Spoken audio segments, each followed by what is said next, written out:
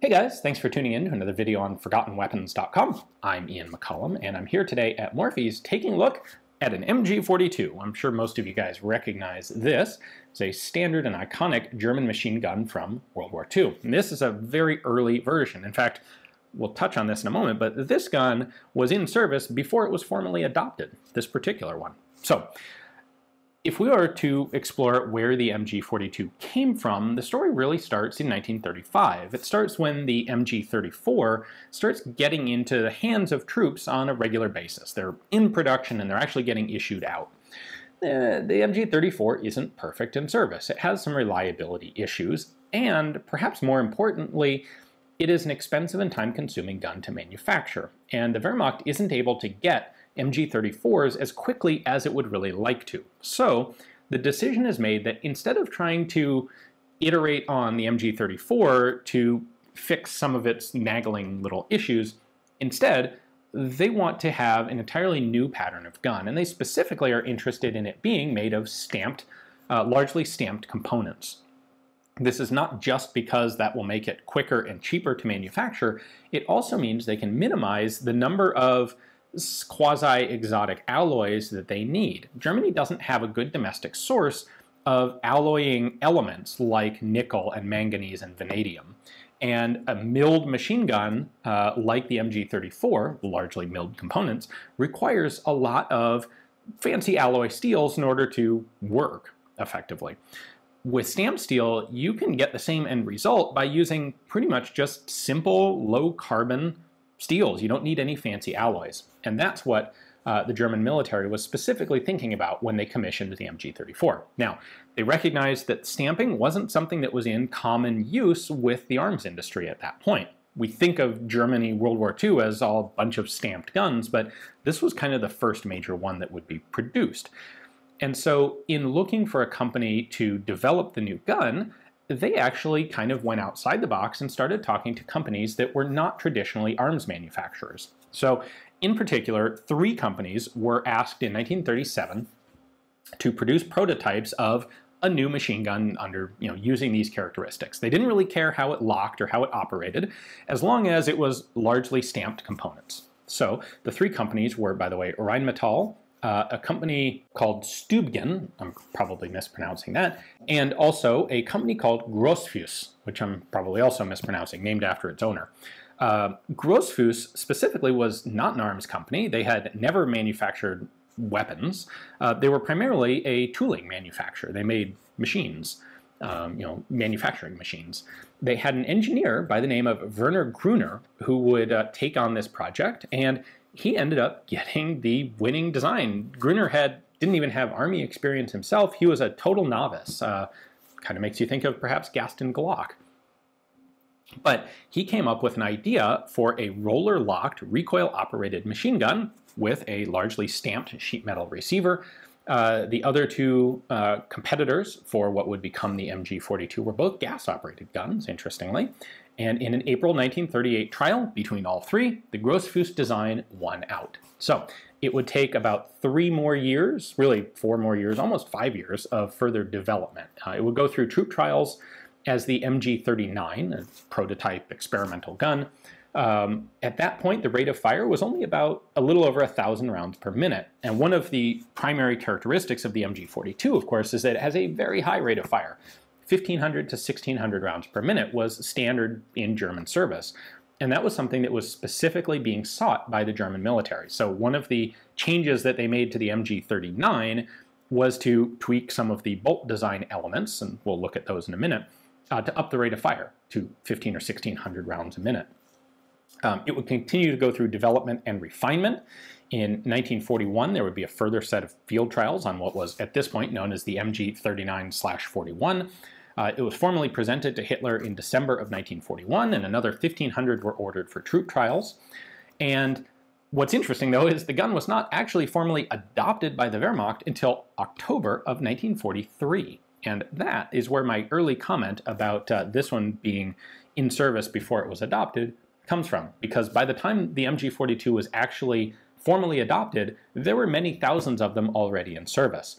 Uh, production began in 1942. There are 1942 and 1943 dated guns before they go to a series of date codes. But I'm getting ahead of myself. Um, in fact, why don't we go ahead and take a close look at the gun now? I'll show you those markings and also how it actually works. All right, let's start with the markings here on the back left of the receiver. Uh, these guns were actually dated in 1942 and early 1943. After that, uh, all the factories would transition over to a two-letter date code system so that captured guns couldn't be used to figure out how much production was actually going on. Uh, so this is a very early uh, pattern here. Uh, they are actually labeled MG42. There's your serial number. After these guns, after you hit 9999, a suffix would be added. So this is in fact only the 2404th MG42 manufactured by the Gustloff company, and that is their three-letter production code. MG42s would be made, well, they are marked from five different factories. Those would be Gustloff, Steyr, uh, Mauser Borsigwald, and a company called uh, Maget, which is a, a, subsidiary of Rheinmetall, so consider it Rheinmetall.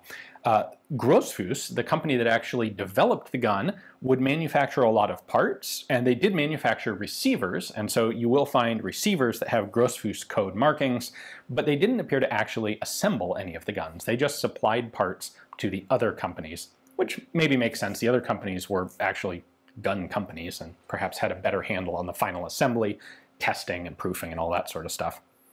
Now there are a number of features on here that are indicative of this being a very early gun, and the most distinctive one is the charging handle here. The early pattern guns, basically up until October of 43 when they were formally adopted, um, the early pattern guns will have this horizontal charging handle. The problem is this is, for one thing, sticking way out from the gun and it's prone to get caught on things and break. And it also doesn't give you any real leverage. It's just a, you know, this is a roller locked gun. If you think about um, the stiffness of the charging handle on a typical HK, that's similar to this. And, and unlocking the 42 with this horizontal handle requires a really stiff yank on the handle.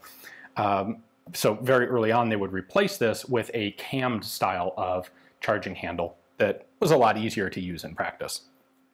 We also have a number of distinctive features of the receiver, things like these plates, uh, which would become more crudely welded on later. This uh, machining on the very end of the receiver is distinctively very early, as is the front sight. That front sight with the screw here is both windage and elevation adjustable, and that would be replaced by a much simpler front sight before very long. The very first MG42s, including this one, uh, were issued with Bakelite buttstocks. Those proved to be a little too fragile in practice in the field, so they were replaced by wooden buttstocks. This is an early replacement wooden buttstock. Uh, these were also too fragile. In fact, you can even see that this one is cracking right there. And so these were replaced by a reinforced pattern that has wire wrapping back here. Uh, this may not be, this isn't the stock that was originally issued on this gun, but it is a very early uh, German replacement stock. And then we also have aluminum grip panels on here, which is unusual and early. Those would be replaced by Bakelite. The feed system on the MG34 is a rather clever one.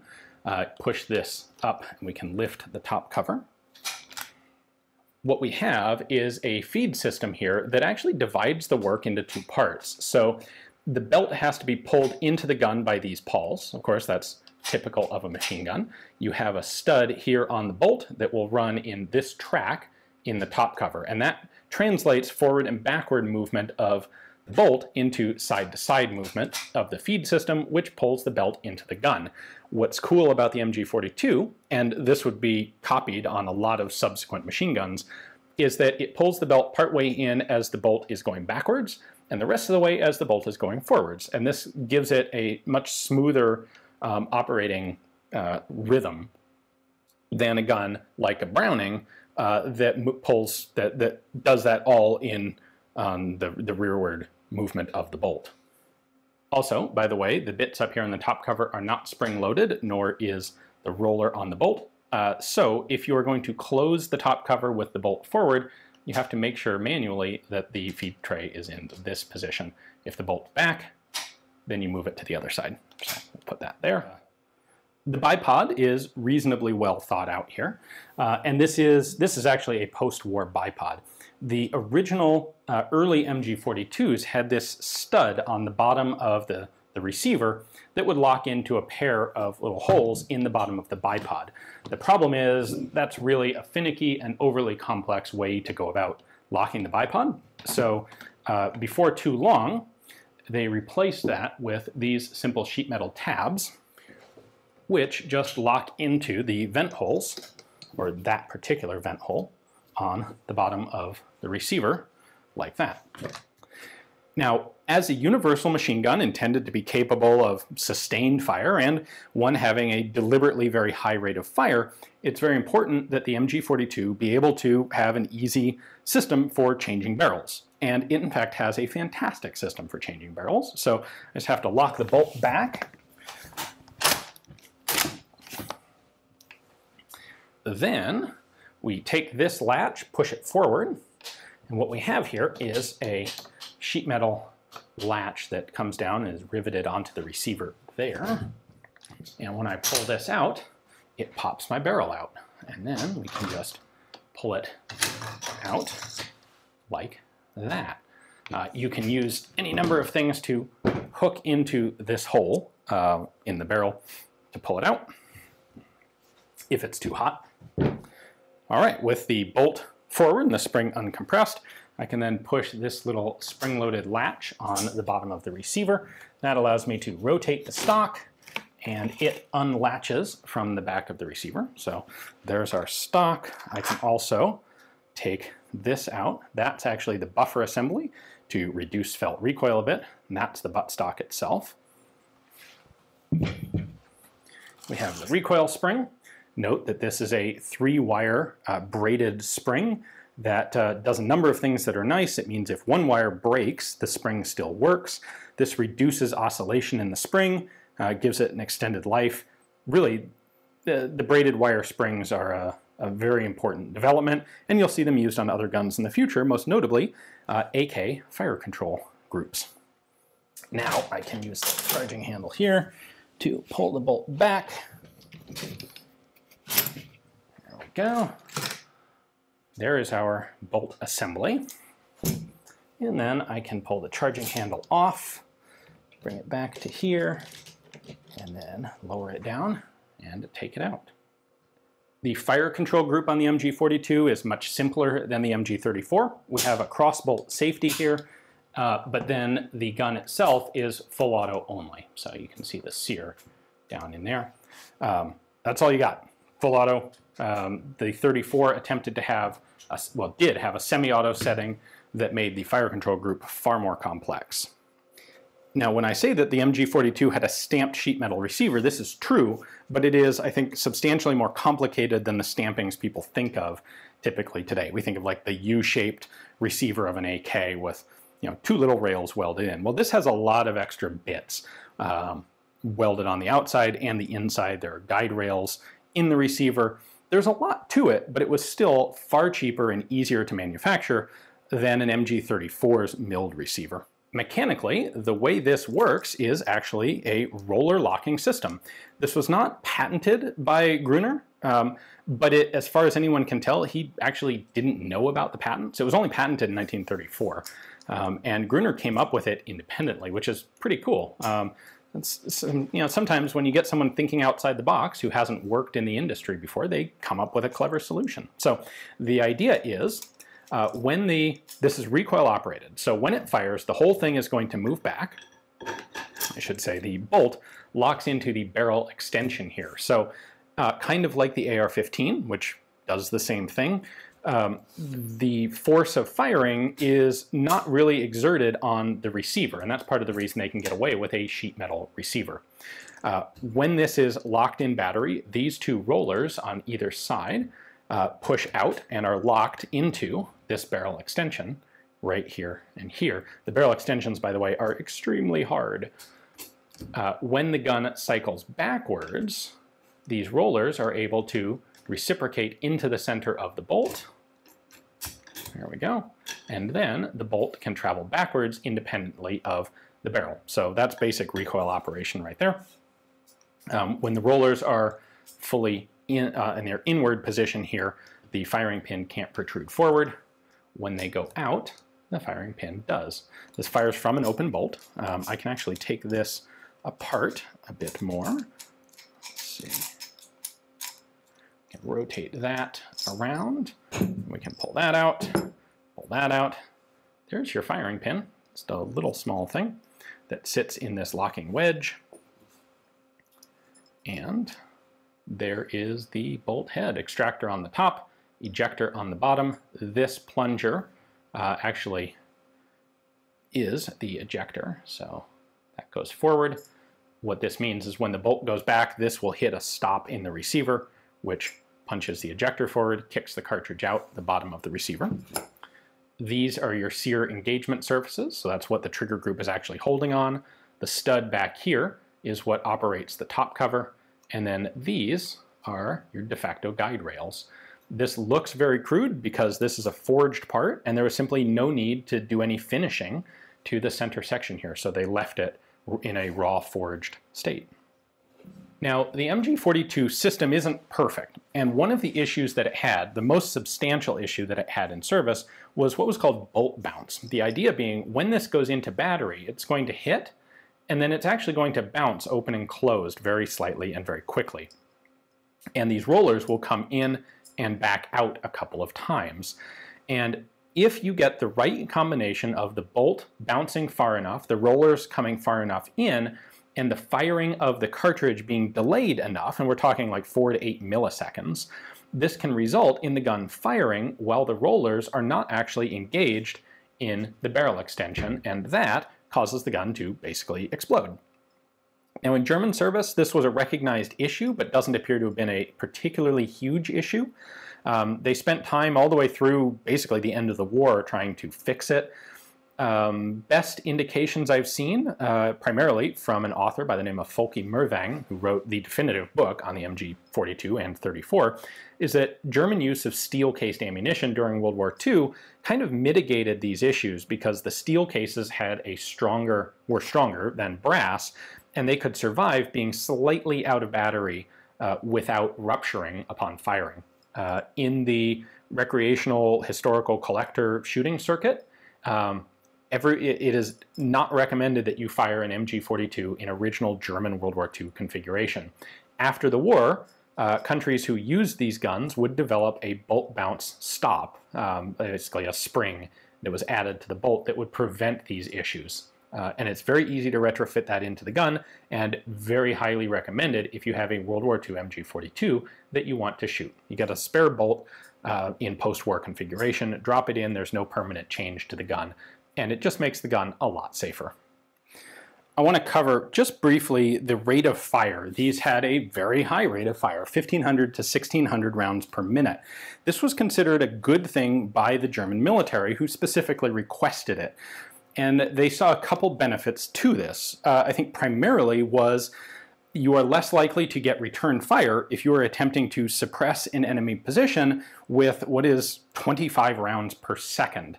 Uh, they, in the training manuals, they compare this out. Uh, the MG08s fired 7 rounds per second, the MG34s fired 15 rounds per second, and the MG42 fired a whopping 25 rounds per second. And the idea was if the enemy position is receiving that volume of fire, they're going to be a lot less able to put their head up and return fire. And that makes the gun more effective. In addition, there were a couple ancillary benefits. It was deemed easier to see where you were hitting based on you know dust and dirt kicked up by bullet impacts because of course at 1500 rounds a minute there's a lot more of that happening uh, for you to see and a very dense cone of fire like that uh, makes the gun more effective when you're attempting to spread fire across a, a wider area. You swing the gun, gun across say a bunch of brush or a hedgerow or a, you know a large enemy formation you're going to get a much higher density of bullets on your target than if it was firing at a slower rate. Of course, we also have our rear sight here. You can flip down the, the sight, and there's also an anti-aircraft sight. There is a little socket out here for the spider front part of the anti-aircraft sight. They'd stop uh, putting these on at the end of the war, or at least guns at the end of the war stopped having them if they were you know, not put on or removed by soldiers, but that's what that is. Anyway, the downside, of course, to this high rate of fire is that you have to carry a tremendous amount of ammunition uh, in order to keep the gun running. So that was the downside. The MG42 would prove to be a pretty darn popular gun in German service. It was well liked by the troops. Uh, it was the same weight as the MG34, virtually the same, uh, but it had more open clearances, it required less maintenance, and it was just more less finicky and more likely to run without any problems. Now, the MG34 would remain in production throughout the war, largely for use in armored vehicles. Uh, all of the mounting points for machine guns in tanks and armored cars and bunker fortifications, those had all been designed around the barrel change mechanism of the MG34, and redesigning all of that stuff to fit a different machine gun didn't make sense. So the 34 stayed in limited production for those applications. The 42 became the primary infantry machine gun. And in this way, it filled the same universal machine gun role as the 34, but in a slightly narrower scope. So if you haven't seen my video on the 34, I suggest you take a look at it. We go into the universal machine gun concept there. In effect, you kind of lose out on the vehicular mounted aspect. There would be some anti-aircraft use of these, but not quite as much as had been originally intended with the 34. This was primarily going to be an infantry light machine gun and an infantry heavy machine gun. In the light role, it was configured much like you see it here on a bipod, and then there was a version of the Lafette, uh, very intricate and uh, very complex and very effective uh, quadrupod mount or tripod mount uh, that allowed it to be used in a sustained fire role, indirect fire if you liked, um, but very stable, accurate at long range. In total, about 400,000 of these were manufactured during the war, um, remarkably, more than half of them were made in 1944. Uh, production of small arms in Germany in general tended to go up right through to about the beginning of 1945, um, before strategic bombing and all of the other problems that Germany was having uh, started to really have a discernible impact on actual production totals. So, um, as I said at the beginning, this is a very early example, most likely captured in North Africa. Um, Rommel found out about these guns relatively early, was a big fan, and made sure that the Afrika Korps got a bunch of MG42s. So that's probably where this one comes from. Obviously, I said this was a popular gun, but obviously it was popular because it is still in use effectively today. Uh, the MG42 was, only had to undergo minor modifications to uh, be rechambered for the 7.62 NATO cartridge, uh, and it would be used by the Bundeswehr, the German army in the 1950s, for a very long time, and it was adopted by a wide variety of other countries as well, because it is fundamentally just a really good machine gun. So hopefully you guys enjoyed the video. Hopefully you learned something about the MG42 and its implementation today. Thanks for watching.